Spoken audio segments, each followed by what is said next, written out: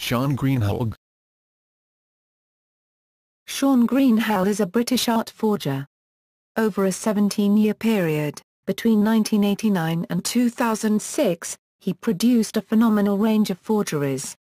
Teaming up with his brother and elderly parents, who fronted the sales side of the operation, he successfully sold his fakes internationally to museums, auction houses, and private buyers, accruing nearly a million pounds. The family have been described by Scotland Yard as possibly the most diverse forgery team in the world, ever. However, when they attempted to sell three Assyrian reliefs using the same provenance as they has previously, suspicions were raised. Apprehended, Shaun Greenhalgh was sentenced to prison for four years and eight months in November 2007. The Victoria and Albert Museum in London held an exhibition of Greenhalgh's works from January 23 to February 7, 2010.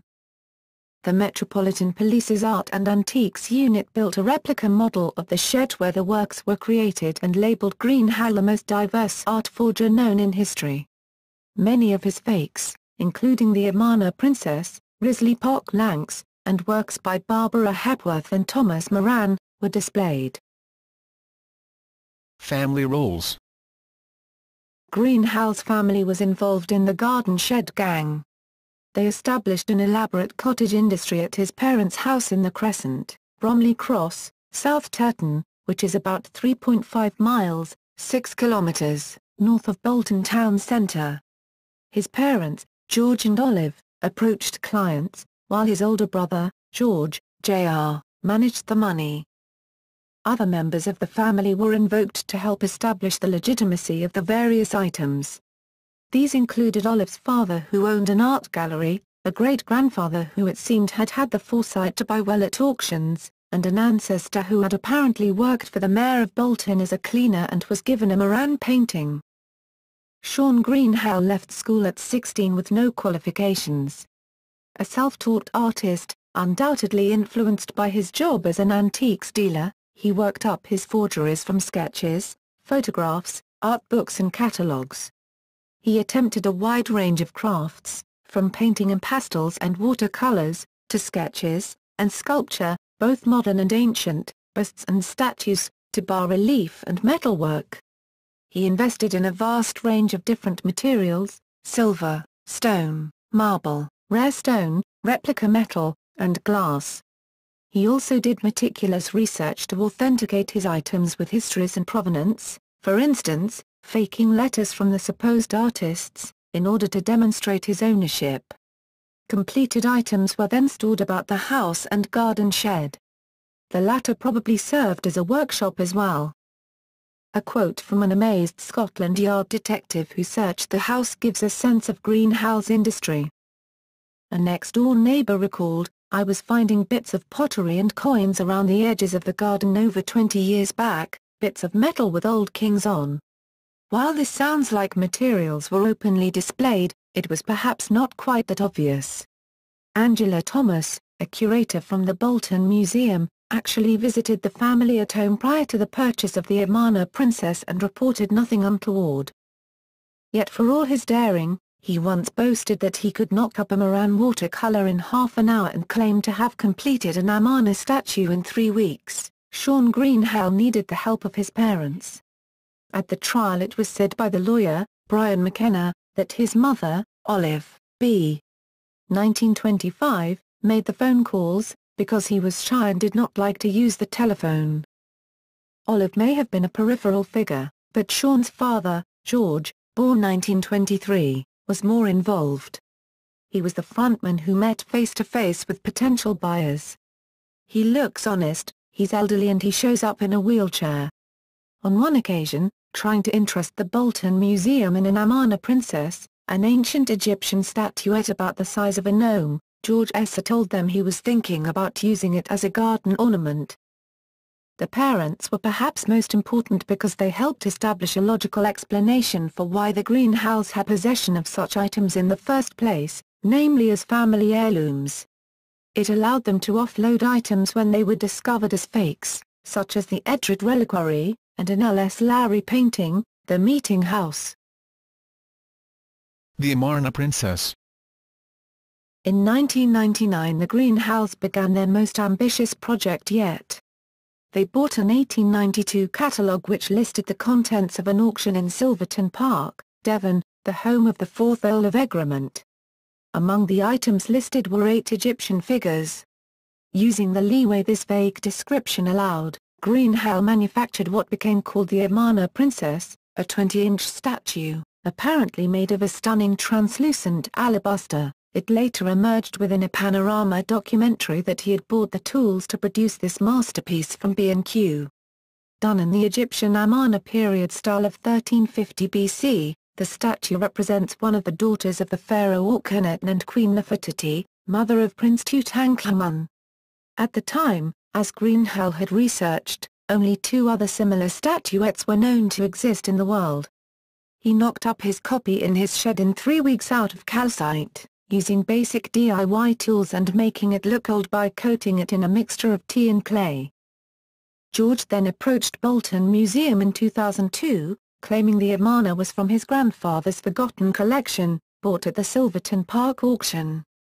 He pretended to be ignorant about its true worth or value, but was careful to provide the letters Shaun had also faked, showing how the artifact had been in the family for a hundred years. In 2003, after consulting experts at the British Museum and Christie's, the Bolton Museum bought the Amarna Princess for PS 439,767. It remained on display until February 2006. How they were caught. Perhaps buoyed up by the fact that they had so successfully duped the experts the Greenhalghs tried again, using the same Silverton Park provenance. They produced what were purportedly three Assyrian reliefs of soldier and horses, from the palace of Sennacherib in 600 BC. The British Museum examined them in November 2005, concluded that they were genuine, and expressed an interest in buying one of them, which seemed to match a drawing by A. H. Layard in its collection. However, when two of the reliefs were submitted to Bonhams auction house, its antiquities consultant Richard Falkiner spotted an obvious fake. Bonhams consulted with the British Museum about various suspicious aspects, and the museum then spotted several unlikely anomalies. The horses' reins were not consistent, or atypical with respect to other Assyrian reliefs.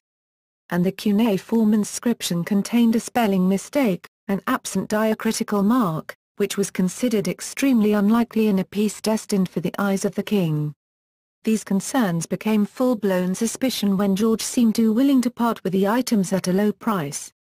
The museum contacted the Arts and Antiquities Unit of Scotland Yard, and 18 months later the family was arrested. Money's involved. Had the Greenhalghs managed to sell all 120 artworks they had offered it is estimated that they could have earned as much as PS 10M. This would have made the average value of each piece more than PS 83,000, although monies received varied between PS 100, for the Edred Reliquary, and PS 440,000, for the Amarna Princess. The Greenhalghs did not manage to offload most of their works. Many which they did sell, such as the Edred Reliquary, purportedly were undersold, garnering only minimal amounts. Others, such as the Lowry painting the Meeting House only gained in value from their repeated resale, which would not have benefited the Greenhalghs. As time went on, more ambitious, expensive pieces of work were produced, some of which did sell, like the Risley Park Lanx. However, these were subject to more scrutiny and indeed it was one of these, the Assyrian reliefs, which led to their exposure and arrests, which suggests that the longevity of their scam was concentrated on the passing off of lower-level items. Balanced against this must be the success of sales to private individuals. They are unlikely to have had the same level of expertise at their disposal as institutions, and are probably less willing to advertise their losses once the forgeries were detected. Certainly they have not had the same exposure as the debacle surrounding the Bolton Museum, for example.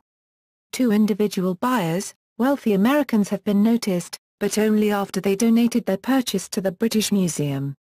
Another piece sold to an unnamed private buyer came to light when the Art Institute of Chicago announced that the Faun, a ceramic sculpture on display since 1997 is the work of the 19th-century French master Paul Gauguin, was also a forgery by Shaun Greenhalgh. The museum purchased the sculpture from a private dealer in London, who had bought it at a Sotheby's auction in 1994. In addition, the bank records of the Greenhalghs only went back six years, so in the final analysis the exact amount of monies involved over the 17-year scam has not been determined. What is known as the two Halifax accounts, one containing PS 55173 and the other PS 303646 were frozen, pending a confiscation hearing in January 2008, and Shaun Greenhalgh was convicted for conspiracy to conceal and transfer PS 410392. Estimates of the amount of money the Greenhalghs actually made vary from PS 850,000 to PS 1.5 million. Motivations The Greenhalgh family did not appear to make much use of the money they gained. They lived a far from lavish life in a shabby council house. Among their possessions were an old TV, battered sofa, and a Ford Focus, but not a computer. According to Detective Sergeant Vernon Rapley, from the Met's Art and Antiques Unit, the conditions were relatively frugal even abject poverty. Olive Greenhalgh claimed that she had not even travelled outside of Bolton. As they did not display wealth, explanations other than desire for money have been proposed. Police suggested that Shaun Greenhalgh was motivated less by profit than by resentment at his own lack of recognition as an artist. This general hatred became a need to shame the art world, and show them up. On the other hand, defense lawyer Andrew Nuttall characterized Shaun Greenhalgh as a shy, introverted person, obsessed with one outlook and that was his garden shed. The forgeries were an attempt to perfect the love he had for such arts. By implication, the forgeries were a mere unintended, if unfortunate, consequence. Known forgeries 44 forgeries were discussed during the trial, and 120 were known to have been presented to various institutions. However, given the family's bank records only extended back for a third of the period they were operating, and Shaun Greenhalgh's high level of productivity, there are probably many more. On raiding the Greenhalgh home police discovered many raw materials and scores of sculptures, paintings and artifacts, hidden in wardrobes, under their bed and in the garden shed. In fact, there can be little doubt that there are a number of forgeries still circulating within the art market. A description of known forgeries includes the following. 1989. Edred Reliquary. A small 10th-century silver vessel, containing a relic of the True Cross of Jerusalem. George Greenhalgh turned up dripping wet at Manchester University, claiming he had found it in a river terrace, at Preston.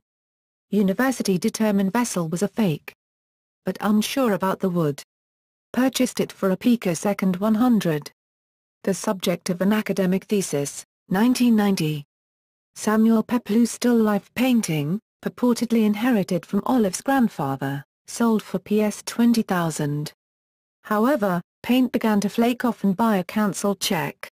Scotland Yard failed to make an arrest at the time due to organisational restraints, 1992. The Risley Park Lanx A Roman silver plate bought for PS 100,000 by private buyers and donated to the British Museum, who displayed it as genuine replica, 1993-1994. Thomas Moran's sketch and watercolour acquired by Bolton Museum. The former was a gift given by the Greenhalghs. The latter was purchased for PS 10,000, 1994. The Faun. A ceramic sculpture by Paul Gauguin authenticated by the Wildenstein Institute, sold at Sotheby's auction in 1994 for PS 20,700 to private London dealers, Howie and Pillar. Bought by the Art Institute of Chicago in 1997 for $125,000. On display until October 2007, 1995. Anglo-Saxon ring. Tried to sell it through Phillips auctioneers determined by British Museum to be a fake, 1995. 24 sketches by Thomas Moran sold in New York. Police believe up to 40, worth up to PS 10,000, were created by Greenhalgh, six or seven of which are unaccounted for. He claimed each one only took him 30 minutes to forge, and that a former mayor of Bolton had given them to an ancestor of his who worked for the mayor as a cleaner, L. S. Lowry. The Meeting House, a pastel, one of a clutch of paintings. The Greenhalghs claimed it was a 21st birthday present by Olive's gallery owner father, and even that some were given by Lowry himself. They had copied letters from the artist, inserting their names in to make it look like they were great friends. For example, this letter dated June 16, 1946. Dear George, thank you very much for your recent letter and check for the paintings. I have about finished the but I will hold on to it until I am ready. I will slip round to the yard on Wed L.S. Lowry. Received 45.0.0 for paintings.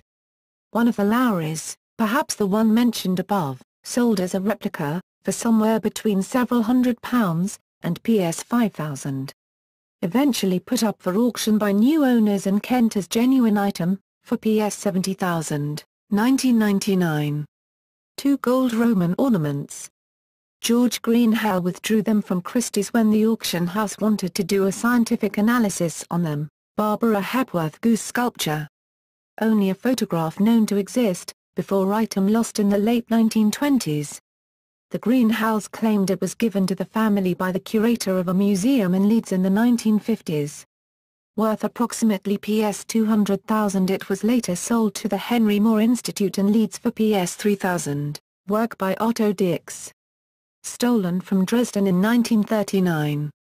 Apparently recovered by the Greenhalghs then presented to the Tate Gallery, work by Man Ray, another Paul Gauguin, a vase, an ancient Celtic fibula, or brooch, Horatio Greenough.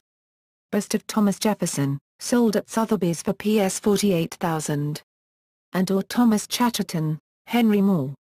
A carved stone head by Henry Moore, which Greenhalgh SNR tried to convince the Tate Modern, London to buy, claiming to have got it via his grandmother, 2003 Amarna Princess, a statuette. In the family for a hundred years authenticated by the British Museum and Sotheby's, bought by Bolton Museum for PS 440,000, it was on display for three years. A police raid on the Greenhalgh home discovered two more copies, 2005. Three Assyrian marble reliefs from Nineveh, including one of an eagle-headed genie and another of soldiers and horses. They were dated by the British Museum at around 681 BC, supposedly from the palace of Sennacherib, and thought to be worth around PS 250,000 to PS 300,000. But alerted by Bonhams, their discrepancies were revealed, and the forgery exposed. Reactions In the end, Greenhalgh's artistic ability was downplayed. Detective Sergeant Rapley of the Metropolitan Police Arts and Antiquities Unit said looking at them now I'm not sure the items would fool anyone, it was the credibility of the provenances that went with them.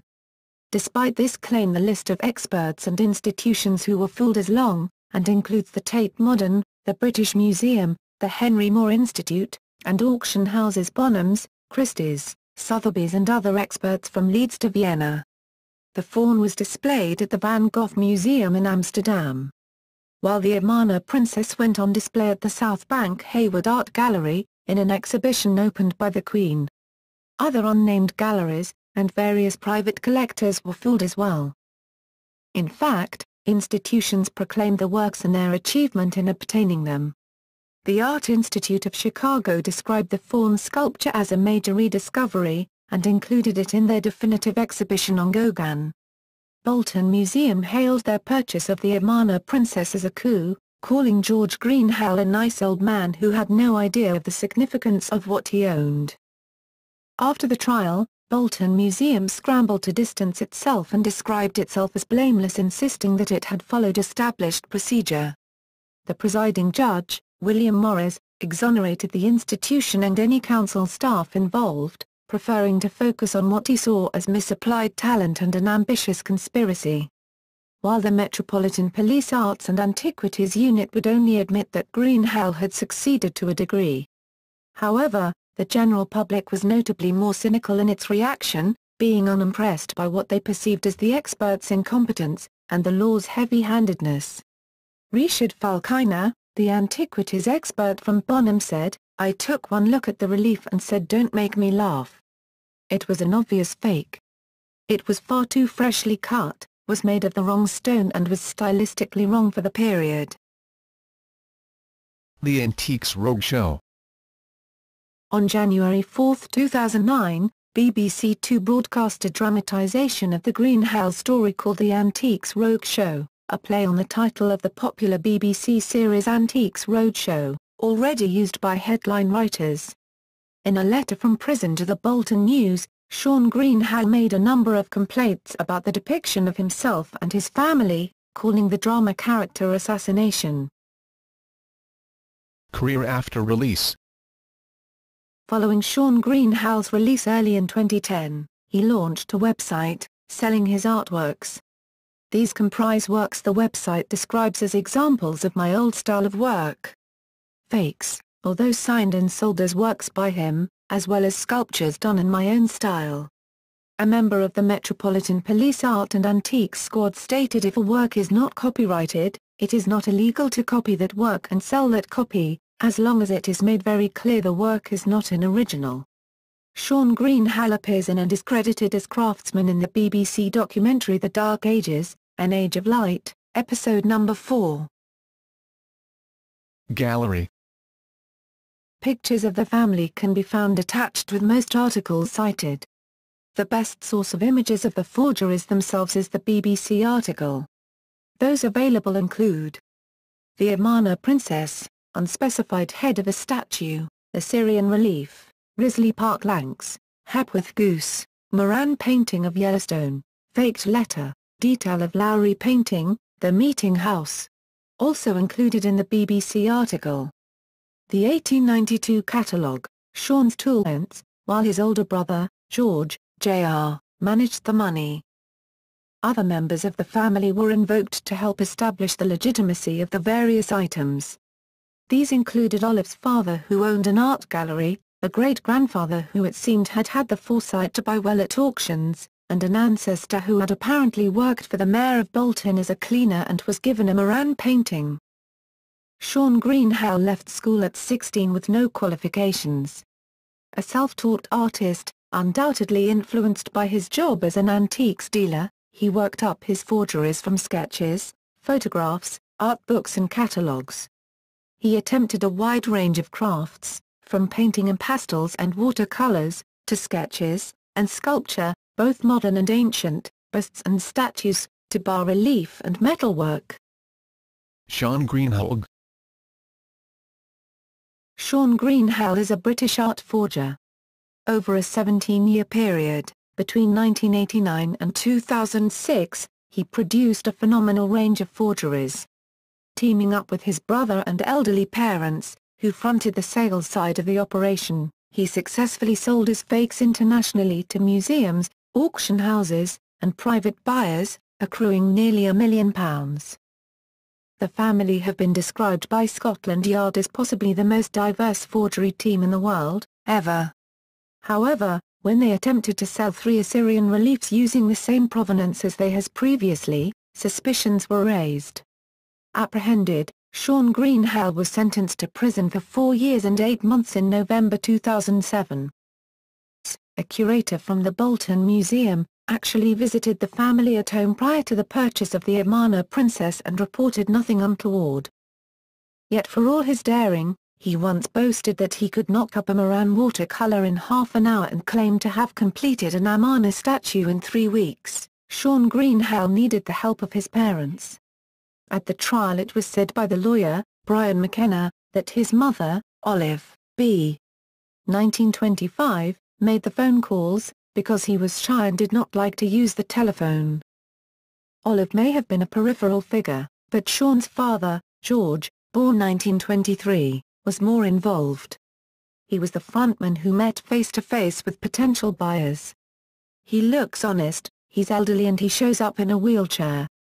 On one occasion, the Victoria and Albert Museum in London held an exhibition of Greenhalgh's works from January 23 to February 7, 2010 the Metropolitan Police's Art and Antiques Unit built a replica model of the shed where the works were created and labeled Greenhalgh the most diverse art forger known in history. Many of his fakes, including the Amarna Princess, Risley Park Lanx, and works by Barbara Hepworth and Thomas Moran, were displayed. Family roles Greenhalgh's family was involved in the Garden Shed Gang. They established an elaborate cottage industry at his parents' house in the Crescent, Bromley Cross, South Turton, which is about 3.5 miles, 6 kilometres, north of Bolton town centre. His parents, George and Olive, approached Clive. He invested in a vast range of different materials, silver, stone, marble, rare stone, replica metal, and glass. He also did meticulous research to authenticate his items with histories and provenance, for instance, faking letters from the supposed artists, in order to demonstrate his ownership. Completed items were then stored about the house and garden shed. The latter probably served as a workshop as well. A quote from an amazed Scotland Yard detective who searched the house gives a sense of Greenhalgh's industry. A next-door neighbour recalled, I was finding bits of pottery and coins around the edges of the garden over 20 years back, bits of metal with old kings on. While this sounds like materials were openly displayed, it was perhaps not quite that obvious. Angela Thomas,